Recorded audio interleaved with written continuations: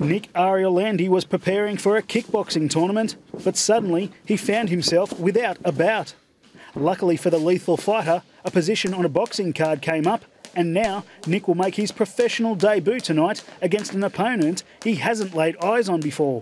It also means that Nick must switch from kickboxing mode. Always a little bit nervous going into a fight, no matter you know who the opponent is, but um, knowing your opponent and, and getting to do some, uh, you know, look, look, him up and do some research on him is always a little bit better. But um, the fight's changed that, that many times now that I, I just don't care who I'm fighting as long as I'm fighting someone. I'm just going to go in there and do my best and I'll, I'll suss it out round by round, you know what I mean? I'm feeling good now, feeling confident. The, the, the fight's set. I'm, I just weighed in, I'm on weight.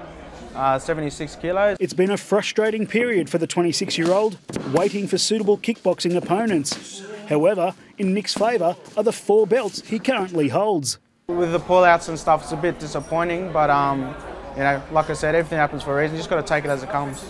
We've already got those um, those belts already on track, and um, we're fighting three weeks from now and uh, for another Australian uh, title. Not only are things looking up for Nick in the ring, but away from the sport, things are rosy too. He recently proposed to Jillaroos World Cup winning rugby league star Julie Young all these big things happening this year and um, next year is going to be even bigger things happening. I'm just really looking forward to all that. She's amazing. She's um, even today she was cutting weight with me. I told her, I said, look, mate, you're not fighting, you know, I'm fighting, you don't have to cut weight. But she was um, supporting me the whole way. She's saying, you're not going to eat, I'm not going to eat. And she was just really uh, amazing uh, supporter that way, and I've never had anything like that. Nick's other great supporter is his coach, Alex Tui.